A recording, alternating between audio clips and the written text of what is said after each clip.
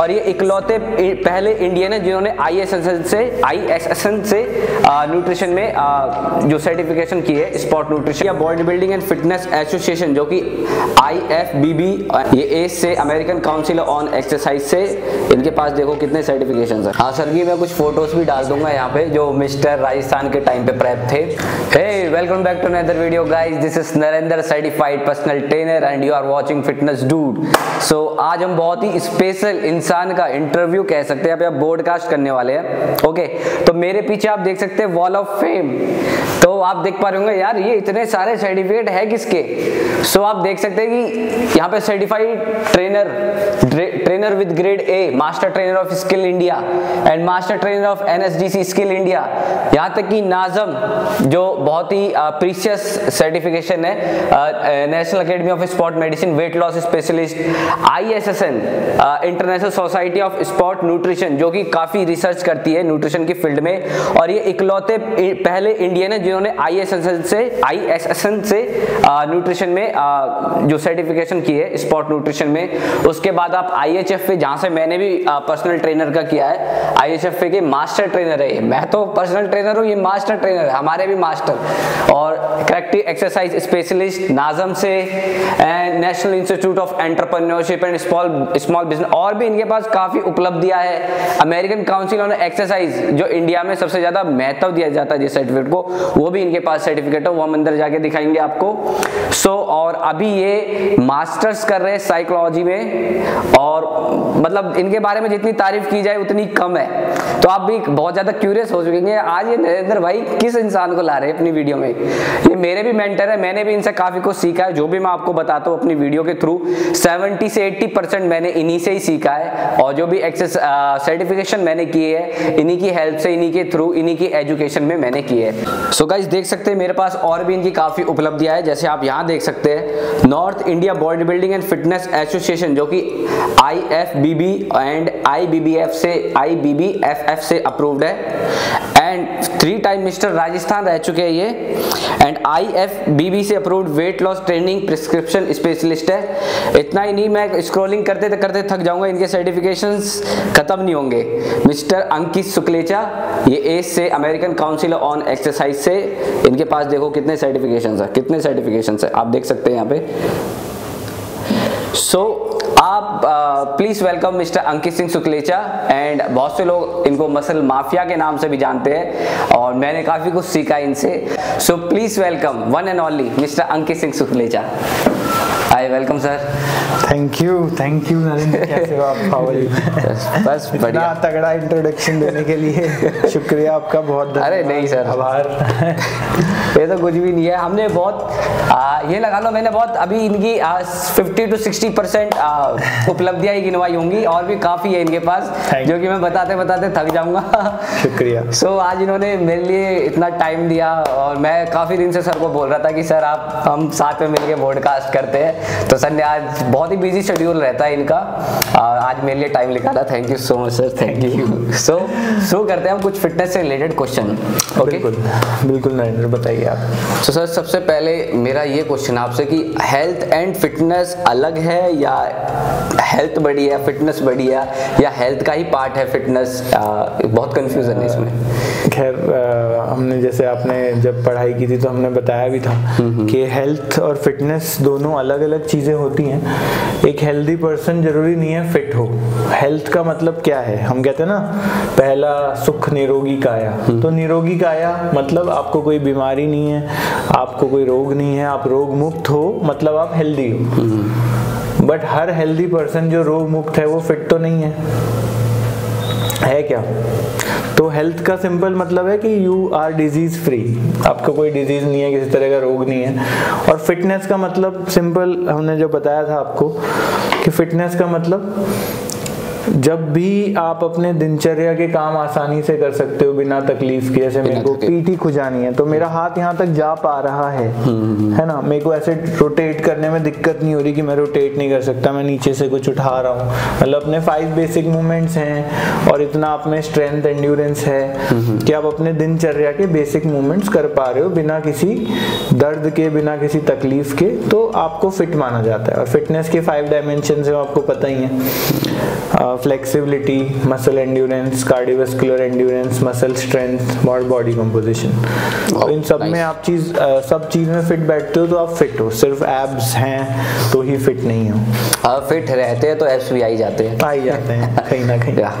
सो so, मेरा second question आपसे sir जैसे कि हम जिम ज्वाइन करते हैं हेल्थी रहने के लिए फिट रहने के लिए तो धीरे धीरे हमारे अंदर कब ये बिल्डअप हो जाता है कि यार मसल बिल्डिंग करनी है हम्म। तो वो आ, फिट रहना और मसल बिल्डिंग करना ये कहाँ से रिलेट कितना रिलेटेड है जैसे मैंने बताया फिटनेस का एक मेजर कंपोनेंट है बॉडी कॉम्पोजिशन हम्म। आपकी बॉडी कॉम्पोजिशन मतलब आपकी बॉडी में हाइट और वेट और एज के हिसाब से पर्याप्त मसल मास हो पर्याप्त फैट मास हो और पर्याप्त आपकी बोन डेंसिटी वाटर मतलब बॉडी में जो वाटर लेवल है, वो जो मिनरल्स हैं कैल्शियम वगैरह, ये सारी चीज़ें एक पर्याप्त मात्रा में हो तो ये बॉडी कॉम्पोजिशन का हिस्सा है। जब भी आप वर्कआउट करते हैं, जब भी आप बॉडी को स्टिमुलस देते हैं किसी तरह का तो बॉडी ग्रो करती है।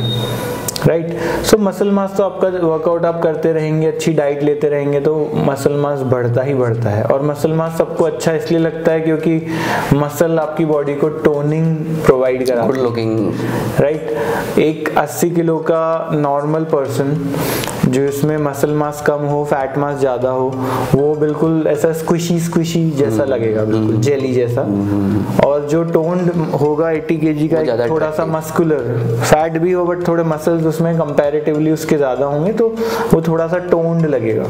तो इसलिए सबको चाहिए मसल मास कि हमारा चेस्ट हमारे शोल्डर बाइसेप्स लेग्स सब टोन रहे ग्लूट्स वगैरह ये सब चीज़ें। तो इसलिए लोग मसल मास की तरफ़ बनाने की तरफ़ आकर्षित होते हैं। सो so, मसल मास की बात हो ही गई है तो जैसे कि आप I S S N international sports science nutrition specialist sorry आप गलत प्रोनाउंस कर रहे हैं। International society on sports nutrition international society of sport nutrition जैसे कि मैंने वीडियो में बताया आप अकेले ऐसे इंसान हो इंडिया से जो सर्टिफाइड है सबसे पहले सर कांग्रेचुलेशन एक बार फिर से। सो so, तो हमारे पास इतने I S S N certified person बैठे हैं तो क्यों ना एक अच्छी क्वेश्चनिंग हो जाए इनसे।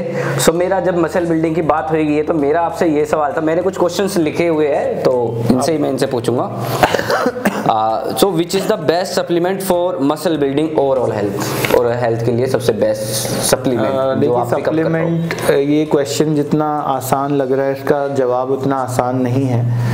जैसे YouTube या Instagram पे लोग बता देते हैं हम्म। उतना आसान इसका आजकल बहुत ट्रेंड में चल रहा है सत्तू खा लो चने का सत्तू तो मैंने खा लो। मैंने डाला था एक कि आप जो सत्तू आपको खिला रहे हैं मैंने एक इंग्लिश में कोटेशन डाला था कि सत्तू वगैरह जो खिला रहे हैं उनकी बॉडी देख के आपको लगता है कि आप भी सत्तू खा के और ये खा के वैसा बॉडी बना लोगे बट वो लोग पीछे कुछ और ही यूज़ हम्म, ले रहे हैं स्टेरॉइड्स मेडिसिन सप्लीमेंट्स कई तरह के जो इवन बैंड सब सब सब्सटेंसेस हैं वो लोग यूज़ ले रहे हैं और वो दिखा रहे हैं कि हम सत्तू खाते हैं ये खाते हैं और जनता भोली जनता भोली कहें या जो भी कहें ज़्यादा समझदार जनता भी कई बार फंस जाती है। तो ऐसा नहीं होता।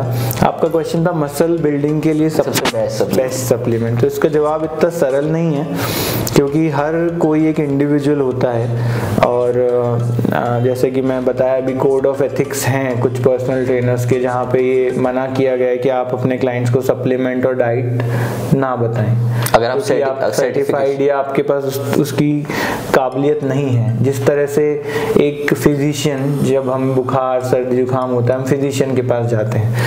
वो फिजिशियन सर्जरी नहीं कर सकता। वो भी डॉक्टर है सर्जन भी डॉक्टर है बट वो फिजिशियन सर्जरी नहीं कर सकता। सर्जरी के लिए आपको एक अलग स्किल्स चाहिए, अलग एक सर्टिफिकेशन या डिग्री चाहिए, अलग तरह की प्रैक्टिस चाहिए। उसी तरह सप्लीमेंट डाइट चार्ट के लिए भी अलग तरह की आपकी नॉलेज चाहिए। अलग तरह के सर्टिफिकेशन होते हैं, अलग तरह की प्रैक्टिस होती है। और इसीलिए ट्रेनर्स को नहीं देना चाहिए बट तो किन ट्रेनर को देना चाहिए किन ट्रेनर को प्रिस्क्राइब करना चाहिए जो जिनके पास स्पोर्ट्स न्यूट्रिशन में या क्लिनिकल न्यूट्रिशन में कुछ डिग्री डिप्लोमा या सर्टिफिकेट हो। सर्टिफिकेट ऐसा नहीं कि कल को मैंने चालू कर दिया सर्टिफिकेट बांटना तो मेरा सर्टिफिकेट लेके दस जने घूम रहे नहीं एक हाँ। संस्था जो जो हाईली इसमें बहुत उच्च स्तरीय संस्था हो हो। कुकर में आईएसआई मार्क लगता है तो वो अपने आप महँगा हो जाता है क्योंकि आईएसआई हम्म। मार्क लगवाना इतना आसान नहीं है उसकी गुणवत्ता पे आपको खड़ा उतरना पड़ता है स्टैंडर्ड से। तो वैसे ही अच्छा सर्टिफिकेशन आप नेशनल या इंटरनेशनल लेवल का करिए जो जिसकी थोड़ी सी रेपुटेशन रेपुटेशन हो और गुणवत्ता हो बेसिकली आपको उस तरह का नॉलेज मतलब ऑन कहने मतलब कोई चंपक लाल एकेडमी ना हो जिससे आप कर रहे हो। चंपक लाल चरसिया एकेडमी से ना ठीक है। Nice so wait muscle building के लिए सप्लीमेंट्स जो रिकमेंड करना चाहूँगा। अगर कोई पर्सन बिल्कुल स्वस्थ है, किसी तरह का उसको लिवर किडनी का किसी तरह का कोई इश्यू नहीं है 21 साल 21 बाईस साल से ऊपर है तो वे प्रोटीन मैं सजेस्ट करूँगा। क्रेटिन मोनोहाइड्रेट जो सबसे सेफेस्ट फॉर्म है क्रेटिन का और सबसे चीपेस्ट भी है। क्रेटिन मोनोहाइड्रेट वे प्रोटीन मैं सजेस्ट करूँगा। सिर्फ़ यही चाहिए दो और एक अगर इतने फल फ्रूट नहीं खा पाते आजकल की भागदौड़ में तो एक अच्छा मल्टी वाइटामिन मैं सजेस्ट करूँगा। इसके अलावा मैं आ, कोई सप्लीमेंट का जनरली सजेस्ट नहीं करूँगा। सो so, हमने यहाँ पे तीन बेस्ट सप्लीमेंट पिकअप करे whey protein creatine monohydrate and multivitamin okay अब मैंने कहा ना कि बड़ा टॉपिक है कई लोग अमीनो लेते हैं ग्लूटामीन लेते हैं बी सी डबल एज लेते हैं। बट रिसर्च में ऐसा कहीं भी पाया नहीं गया है। कि इनको लेने से मसल बिल्डिंग होती है। प्रूवन नहीं है बट बाकी जो मैंने बताया वो उनके हमारे पास साक्ष्य हैं यू नो इनके पास have the evidence that it works okay okay जी। अब आपको जिम से रिलेटेड कुछ पूछना चाह रहे थे? जिम से रिलेटेड काफ़ी भावुक सवाल है वो। बताइए। सो उससे पहले मेरा एक और क्वेश्चन है तो वो भावुक सवाल हम लास्ट में लेंगे। आप तब तक बने रहिएगा। आपके लिए भी बहुत काम का सवाल हो, जो फिटनेस से रिलेटेड है और जो फिटनेस में जॉब करते हैं मेरी तरह। एंड मैंने काफ़ी लोगों से सुना है कि जैसे जिम में काम करते हैं कि यार भाई मेरी मतलब मेरे को किसी ने बोला है कि बिना सामान के तो बॉडी नहीं बनती। काफ़ी लोगों से सुना है। सामान का मतलब वो सप्लीमेंट की बात नहीं कर रहे आप समझ ही गए होंगे। हम्म। सामान का मतलब वो बात कर रहे हैं स्टेरॉइड्स की कि भाई बिना स्टेरॉइड के तो उनको दो तीन महीने होते हैं या छह महीने ज़्यादा ज़्यादा से होते हैं बॉडी को जिम करते करते तो उनको खास रिज़ल्ट दिखते नहीं है। तो जो लोग तगड़े तगड़े होते हैं जिम में उनको देख के वो काफ़ी प्रभावित होते हैं बोलते यार मेरी बॉडी ऐसी बन जाए। पर क्या पता उन्होंने छः साल दिए हो पाँच साल दिए हो और वो छः महीने के बाद वो सोचते यार मेरी तो वो बहुत से लोग उनको गलत पाथ भी चूज़ करा देते हैं कि आप ये वाला आ, सबसे एक फ़ेमस है एनावर ले लो। सबसे सेफेस्ट स्टेरॉइड हो एनावर ले लो। एनावर हाँ तो आप थोड़ी है सेफेस्ट ले लो। सो आप कहना क्या उसके बारे में क्या कहना चाहेंगे? क्या सामान लेना चाहिए? सामान तो आप लो बहुत सारा सामान है कुछ भी लो। हाँ। बट अगर हम मेडिसिन की बात करें जैसे टेक्निकली लोग सामान सो कॉल्ड सामान कहते हैं तो बिल्कुल भी नहीं लेना चाहिए। और जो भी ले रहे हैं अपने हेल्थ के साथ खिलवाड़ कर रहे हैं। ठीक है। कई सारे साइड इफ़ेक्ट्स होते हैं जो उस टाइम नहीं होते आगे चल के होते हैं जो जैसे कि सबसे मेन कैंसर है लिवर किडनी फेलियर है हार्ट अटैक्स हैं जो हम देख भी रहे हैं हम्म। जो हम देखते आ रहे हैं कोविड से पहले भी हम देखते आ रहे हैं कि भाई 24 साल का लड़का बॉडी बिल्डर चला गया इंटरनेशनल लेवल पे भी इंडिया में ही नहीं हर जगह। तो बिल्कुल भी मैं रिकमेंड नहीं करूँगा कि आपको किस तरह का मेडिसिन से ये लेना चाहिए। अगर आपका ये थोड़ा कंट्रोवर्शियल टॉपिक है बट हाँ अगर आप compete कर रहे हैं किसी भी स्पोर्ट्स में तो जहाँ तक मैंने पढ़ा है जितनी डॉक्यूमेंट्रीज मैंने देखी हैं जितनी इंटरनेशनल स्पोर्ट्स पर्सनस या कोचेस से मैं मिला हूँ ये बात सच है कि उस लेवल पे इनका यूज़ होता है बट डोपिंग से पहले आ, ये वॉश आउट हो जाती हैं चीज़ें। चाहे कोई सा भी गेम हो मैं ना वो तो बहुत प्रोफेशनल लेवल पे हो गया ना सर हाँ, यहाँ पे तो, तो इंडिया में लेवल पे जाना है तो आप अपने खैर मैं सही पर्सन नहीं हूँ आप किसी एंडोक्रोनोलॉजिस्ट से संपर्क करें और वो आपको बताएँगे कि नहीं यहाँ पे तो इंडिया में बच्चे को गोली दे दी जाती है डायनाबॉल ले लो एनाबॉल ले लो फिर उसको ये भी नहीं बताया जाता एक पीसीटी नाम की चीज़ होती है। देखो पीसीटी भी नहीं तो कराई जाती। क्यों? जब मेरे को आज 18 साल हो गए एक्सरसाइज करते हुए अभी हालाँकि कुछ टाइम से मैं नहीं कर पा रहा हूँ व्यस्तता के कारण अट्ठारह साल में मैंने एक ही चीज़ सीखी है एक्सरसाइज से। वो है धैर्य। हम्म। अट्ठारह से भी अगर मेरा वॉलीबॉल में स्टेट लेवल वॉलीबॉल प्लेयर भी था अगर वो वॉलीबॉल का भी आप जोड़ लें तो ऑलमोस्ट मैंने 14-15 साल से चालू कर दी थी। तो 18 साल के आसपास 18-19 साल मेरे को हो गया एक्सरसाइज करते करते जिसमें मैं गेम गेम भी आप इंक्लूड कर लो। उसमें भी कुछ एक्सरसाइज तो होती थी। हाँ सर की मैं कुछ फ़ोटोज़ भी डाल दूँगा यहाँ पे जो मिस्टर राजस्थान के टाइम पे प्रेप थे। और आप देख देख लेना और इनका बाइसेप्स की जो क्वालिटी है खैर मैं बहुत बड़ी बात नहीं बोलना चाहूँगा पर बहुत मेच्योर बाइसेप्स है इनका। कभी कभी सर के बाइसेप्स मेरे को आर्नोल्ड की याद दिलाते हैं। आप देखना ये तो सर उड़ी है उड़ी उड़ी उड़ी के अंदर बहुत कुछ अंदर छुपा है। जैसे कि आ, हमारे इंडिया में बहुत से ऐसे लोग जो बहुत अंडर है। जैसे हमारे सर है मिस्टर अंकित सुखलेचा जानते हैं इनको। वर्ल्ड वाइड में भी बहुत लोग जानते हैं इनके वर्ल्ड वाइड ही सबसे ज़्यादा क्लाइंट है। पर फिर भी इतनी कुछ उपलब्धियाँ होने के बावजूद ये हमारे देश का दुर्भाग्य है कि ऐसा इंसान मतलब इतना अब बहुत लोग हैं मैं किसी का नाम नहीं लेना चाहूँगा जो कि सो कॉल्ड फिट इन्फ्लुएंसर तो नहीं है उन्हें हम सिट इन्फ्लुएंसर ही बोलते हैं सोशल मीडिया पे जो मतलब फ़ेमस तो काफ़ी है पर पता कुछ नहीं है सत्तू खा लो ये ले लो वो ले लो 100 ग्राम चना खा लो 20 ग्राम प्रोटीन मिलेगा अरे 100 ग्राम 20 ग्राम प्रोटीन तो मिलेगा उसमें पचास साठ ग्राम तो आपको कार्ब आ रहा है ना क्वालिटी ऑफ़ प्रोटीन भी तो मैटर करता है ना। क्वालिटी ऑफ़ प्रोटीन उसकी बायो अवेलेबिलिटी शरीर आपका एब्जॉर्ब कितना करता है उसमें से? आपने खा तो लिया। मैं तीन चम्मच वे प्रोटीन खा लूँ अगर घोल के पानी में। बट मेरा शरीर तो एक लेवल तक ही एब्जॉर्ब करेगा ना। बस वो काफ़ी चीज़ें हैं जो पढ़ने से पता चलती हैं। एक शास्त्रार्थ पहले होते थे तो वो तो खैर वेदों और उनको लेके होते थे बट शास्त्रार्थ हमेशा किसी भी विद्या में होने चाहिए। तो उससे पता चलता है जब हम मचते हैं तो अच्छी चीज़ें विश के साथ अच्छी चीज़ें भी ऊपर आती हैं फिर। सो so, सर जैसे कि आ, मैंने बताया आपको थ्री टू फोर टाइम आप मिस्टर राजस्थान रह चुके हैं तो जैसे कि आपको तो काफ़ी नॉलेज होगी मैं वही बता रहा हूँ कि सॉरी मैं आपको बीच में कट कर रहा हूँ कि मैंने पेशेंस सीखा और मैंने मिस्टर जयपुर बिना mister Jaipur level district level competition होता तब इतना बॉडी बिल्डिंग एक सुंदरता थी तब। मैंने पहला कॉम्पिटिशन शायद 2009 में या 10 में शायद जीता था, फिर लास्ट मैंने खेला था 2014 में या ऐसे कुछ 14-15 मैंने लास्ट खेला था। उसके बाद जब मुझे दिखा कि आगे तो भाई ये बिना इंजेक्शन बिना ये सब चीज़ों के आगे हम बढ़ नहीं सकते और ख़र्चा इतना हो रहा था जिससे मेरी लाइफस्टाइल भी सफ़र कर रही थी। मैं मतलब हर चीज़ डाइट में और सप्लीमेंट में ही जाती थी। हालाँकि मेरे फादर साहब मुझे बहुत सपोर्ट करते थे।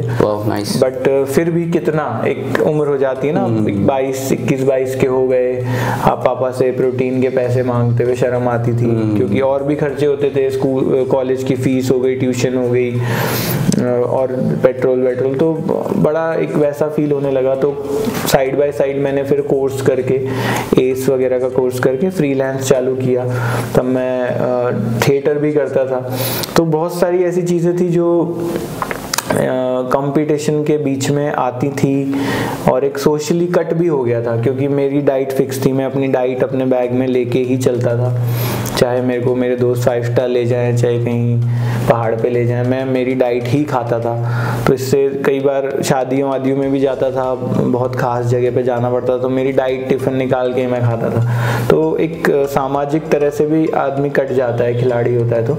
तो बहुत सारी चीज़ें थी, फिर मैं सोचा कि कम्पीट करके भी मैं इस लेवल तक पहुँचूँगा और मुझे मिलेगा क्या? अगर खुदा ना खास्ता मेरी किडनी लिवर कुछ हो गया तो मैं तो इतना सक्षम हूँ नहीं कि मैं कुछ करवा लूँ और गलत मैसेज जाएगा। तो इसलिए मैंने फिर उस चीज़ से लिया और काफ़ी चीटिंग भी होती थी कि मेरी वेट कैटेगरी में मेरे से ज़्यादा वेट के उतर गए? मेरी पूरी ढाई तीन लाख रुपए मैंने अपनी तैयारी में लगाए और फिक्सिंग आ, हाँ वो हुआ तो वो मैंने जब सामने प्रत्यक्ष देख लिया तो फिर मैंने कंपटीशन से मैंने कहा अब नहीं करना कंपटीशन सो so, आपने बोला अभी बीच में बॉडी बिल्डिंग में कि पहले सुंदरता थी। हम्म। तो सुंदरता से आपका क्या तात्पर्य है? सुंदरता से थी तात्पर्य कि एक पेशेंस हुआ करता था जब हम वर्कआउट करते थे बॉडी की सुंदरता या बॉडी की सुंदरता ही की बात कर रहा हूँ। अभी ऐसे मॉन्स्ट्रस आप अभी मैं जैसे फ़ोटो भी लगाऊँ तो मैं पसंद करूँगा आर्नोल्ड का लगाना। ज़्यादा से ज़्यादा मैं जे कटलर उसके बाद जैसे मैं सब रिस्पेक्ट करता हूँ एथलीट्स को बट अभी जो ओलंपिया बने हैं मेरे को तो उनका नाम भी नहीं पता। बबल कट आ गया बहुत बहुत मॉन्स्ट्रस मॉन्स्ट्रस जे कटलर भी थे मॉन्स्टर आर्नोल्ड भी थे। मैंने जे कटलर को साक्षात जब वो मिस्टर ओलंपिया लास्ट जीते थे तब देखा था मतलब आप मानो कि बहुत ह्यूज थे वो बहुत बड़े थे और पर सुंदरता थी एक एक फेस पे ग्लो था यहाँ पे आप कोई भी इंडियन बॉडी बिल्डर देख लो उसके बैक पे दाने दाने हम्म। पूरे शरीर स्किन खराब हम्म। सिर्फ़ आप एप्स दिखाने के चक्कर में एडिट करके कोई मतलब नहीं है तो खैर मैं सिंपल छोटी कट शॉर्ट करते हैं कि नहीं लेना चाहिए स्टेरॉइड शांति से आप प्रयत्न करते रहें। मसल में आप एक उसमें डायलॉग था ना कि एक वृक्ष को वो फल देने के लिए भी एक उम्र की आवश्यकता होती है। hmm. तो आप कितना ही स्टेरॉयड ले लो कितनी अच्छी अच्छी चीज़ें ले लो कितना पैसा बहा दो आप पानी की जैसे आपकी मसल तो टाइम के साथ ही मैच्योर होगी। और जो मैच्योर मसल है वो बहुत अच्छी दिखती है। वो अच्छी दिखेगी। तो आप कितना ही कुछ कर लो कोई मतलब नहीं इससे बढ़िया अच्छी डाइट लो, अच्छे अपने रॉ फ़ूड पे फोकस करो, अच्छी डाइट पे फोकस करो, कुछ एक अच्छे सप्लीमेंट लो जो आपकी जेब से ज़्यादा पैसा बहा के ना ले जाएँ और आप एक अच्छी लाइफ जियो। बस मैं तो ये कहूँगा उसे निरंतरता रखो एक अच्छा आ, संदेश समाज में सोसाइटी में आपको देना चाहिए कि हाँ भाई बिना कुछ करे भी एक अच्छी बॉडी टाइम के साथ आ, मेरा लास्ट क्वेश्चन था आ, इस वीडियो का लास्ट क्वेश्चन नहीं बॉडी बिल्डिंग से रिलेटेड जैसे कि आप three to four time mister Rajasthan रह चुके हैं तो आपको इस बारे में ज़्यादा पता होगा मेरे को तो नहीं पता क्योंकि मैं को सर्टिफाइड पर्सनल ट्रेनर हूँ मेरा तो फ़ील्ड में नहीं है बॉडी बिल्डिंग सो मेरा क्वेश्चन था कि सर जैसे कि मैं काफ़ी लोगों को ट्रेनिंग देता हूँ तो काफ़ी ऐसे क्लाइंट भी आते हैं बॉडी बिल्डिंग वाले जिनको मैं छह महीने पहले देख रहा था काफ़ी लीन थे हम्म। काफ़ी मस्कुलर थे। जैसे ही वो कुछ भी स्टेरॉइड छोड़ते तो उनकी बॉडी में फैट आ जाता है फैट पकड़ लेती है। अब मसल मास लूज करने लगते हो डिप्लीटेड होने लगता है उनकी बॉडी में। अब फैट मतलब कि बहुत ही लचीला मतलब स्किन हो जाती है उनकी। तो ऐसा क्यों होता है? क्या वो कुछ स्टेरॉइड पे थे छोड़ दिया उन्होंने या ऐसा जब भी आप स्टेरॉइड छोड़ते हैं तो आपका लिपिड प्रोफ़ाइल भी बिगड़ता है आपका कोलेस्ट्रॉल भी बढ़ जाता है। आप पीसीटी करो या पीसीटी ना करो क्योंकि आपने डोज एक डॉक्टर के अंडर में तो लिए नहीं थे। झोला छाप गुरुजी के अंडर में आपने कोई भी डोज उनने बनाए ले लिए। तो अब कुछ भी डोज ले लिए तो आपकी बॉडी का जो नेचुरल मैकेनिज्म है हार्मोन प्रोडक्शन का वो असंतुलित हो गया। उसके उसके कारण आपके जो नेचुरली टेस्टेस्टेरोन या इस तरह के हार्मोन्स जीएच वगैरह बन रहे थे वो काफ़ी कम हो जाते हैं और फिर वापस से किक स्टार्ट होने में बहुत समय लग जाता है। तो अपने नेचुरल तो, लेवल पे नहीं आ सकते। एस्ट्रोजन 100% आ सकते हैं क्या एस्ट्रोजन 100% आ जाते हैं अगर आप छोड़ो और लंबे समय तक नेचुरली आप तैयारी करो अच्छी डाइट लो अच्छी कोच के अंडर में ट्रेनिंग करो क्योंकि एस्ट्रोजन काफ़ी बढ़ जाता है जब भी आप स्टेरॉइड जैसे छोड़ते हैं या लेते के टाइम भी। और एस्ट्रोजन एक हार्मोन है जो ब्लोटिंग के साथ भी रिलेटेड है। आप ब्लोटेड ब्लोटेड फील करते हो। मसल मास क्योंकि कॉर्टिसोल लेवल बढ़ जाता है बॉडी कोप अप नहीं कर पाती है, इस वजह से भी आपका मसल मास जो है कम हो जाता है. सो so, जैसे कि मैंने आपसे पूछा what is the best supplement for muscle building for overall health के लिए जैसे आपने मल्टी वाइटामिन से बताया ओवरऑल हेल्थ के लिए मसल बिल्डिंग के लिए आपने वे प्रोटीन बताया क्रेटीन बताया क्रेटीन मोनोहाइड्रेट सो इसका ही अपोजिट है what is the worst supplement जो हम यूज़ करते हैं जिनका कोई साइंटिफिक रिसर्च भी नहीं है और हमारी बॉडी पे कोई प्रभाव भी नहीं है। और हमारे वेस्ट ऑफ़ मनी जा रहा है बस गटर में पैसा आई थिंक फैट बर्नर है अमी बी सी डबल ए भी मैं कहूँगा ग्लूटामीन है जिसपे मैंने खुद ने भी बहुत पैसे बहाए हैं। बीस बीस ग्राम तक भी मैंने लिया है पर डे का glutamine. So I think glutamine B C double A pre workouts और इन पे uh, हमें पैसे नहीं बहाने चाहिए।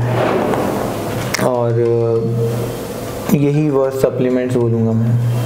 और एक बीच में चले थे जो स्टेरॉइड को मिमिक करते हैं। स्टेरॉइड जैसे होते हैं बट स्टेरॉइड नहीं होते साम्स होते हैं। हाँ, वो तो सबसे वर्स्ट है। वो सबसे वर्स्ट इसलिए क्योंकि अमेरिका में साम्स को बैन कर दिया गया है। साम्स मतलब सिलेक्टिव एंड्रोजेनिक रिसेप्टर मॉड्यूलेटर इनको अमेरिका में बैन कर दिया क्योंकि रिसर्च में पाया गया कि इनसे कैंसर होता है तो इनको बैन कर दिया गया। इसलिए ये सारे सप्लीमेंट्स वेस्टेज ऑफ़ मनी है। आपको लेना है अपनी मानसिक शांति के लिए तो ले सकते हो, बाकी वेस्टेज ऑफ़ मनी है। कुछ इनसे अगर बुरा नहीं भी होता है तो अच्छा भी नहीं होगा, सिर्फ़ एक साइकोलॉजिकल इफ़ेक्ट है ही बस। ओके साइकोलॉजी इफ़ेक्ट से अब यहाँ पे हम इसको टॉपिक को क्लोज करते हैं मसल बिल्डिंग वाले को। साइकोलॉजी इफ़ेक्ट बहुत अच्छा आपने वर्ड बोला। तो इससे मेरा एक क्वेश्चन उभर के आया कि जैसे हम पर्सनल ट्रेनर है हम सर्टिफिकेशन करके आए हैं बहुत ही अच्छी यूनिवर्सिटी से या बहुत ही अच्छी अकेडमी से जो कि काफ़ी रेपुटेशन है स्टैंडर्ड है उसका। और मतलब लोग आज आजकल पर्सनल ट्रेनर को जज करते हैं कि यार इसकी बॉडी है तो इसमें नॉलेज है। चाहे वो उसको कुछ नहीं पता। उसने मान लिया है गेनर लिया है काफ़ी फूल गया है वो बंदा। बस अंदर से तो वो ब्यूटी नहीं है पर टी शर्ट पहन के वो अच्छा दिखता है। और एक ट्रेनर है जो काफ़ी लीन है पर मसल साइज़ इतना नहीं है बस फिट है एक एथलेटिक बॉडी है उसकी।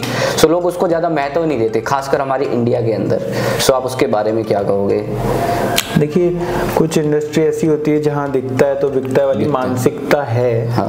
बट एक कहते हैं ना बड़े बूढ़े कह गए हैं कि किसी भी किताब को उसके कवर से जज ना करें। उसके अंदर अथाह ज्ञान हो सकता है। और अच्छा कवर के पीछे बेकार किताब भी हो सकती है। तो ये उसी तरह वाली बात है। क्योंकि सामने वाले को जनता को दिखता है कि ये अच्छी बॉडी है तो हमारी भी ऐसी बना बना देगा। देगा बट एक बात जनता भूल जाती है कि सचिन तेंदुलकर अपने बच्चे को सचिन नहीं बना पाए। अमिताभ अपने बच्चे को उस लेवल का with all due respect to Abhishek ji he is a very good actor but Amitabh Bachchan is Amitabh Bachchan. मैं समझ रहे हैं मैं क्या कहना चाह रहा हूँ। तो बॉडी से जज ना करें। क्योंकि वो एक एथलीट हैं। अगर किसी की अच्छी बॉडी है तो वो एक एथलीट हैं एक अच्छे कोच हो ना हो उसका कोई वो नहीं है। चाणक्य एक अच्छे गुरु थे बट वो चंद्रगुप्त तो नहीं बन पाए सम्राट तो नहीं बन पाए। कि सम्राट के लिए कुछ अलग चीज़ें चाहिए रहती हैं। और चंद्रगुप्त भी दूसरा चंद्रगुप्त नहीं बना पाए। क्योंकि उसके लिए गुरु की ज़रूरत होती है। तो भाई जिनका काम जाका काम जाको साझे। कोचिंग है तो कोचेस से कोचिंग लीजिए एथलीट से कोचिंग मत लीजिए। मत और ले रहे हैं तो आपकी फिर हाँ इसको मैं कुछ इस उदाहरण से समझाना चाहूँगा। सर ने काफ़ी अच्छा एक्सप्लेन किया। इसमें मैं एक और चीज़ ऐड करूँगा कि मतलब सचिन तेंदुलकर बहुत अच्छे खिलाड़ी है। मैं उनकी रिस्पेक्ट भी करता हूँ। गॉड ऑफ़ क्रिकेट भी उन्हें कहा जाता है है ना?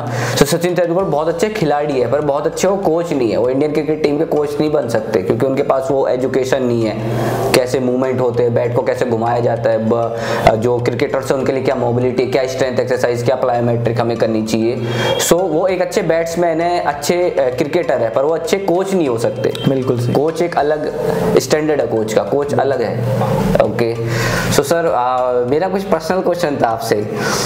तो मैं हूँ मेरे काफ़ी कलीग्स है और और भी काफ़ी बच्चे जो शायद इस लाइन में होंगे फिटनेस इंडस्ट्री में अपना कैरियर बनाना चाहते हैं। सो so, एक बच्चा मेरे जैसा ग्रेजुएशन करके फिर उसका मन होता है फिटनेस फ़ील्ड में काफ़ी स्कोप उसे दिखता है जैसे यूट्यूब्स वगैरह।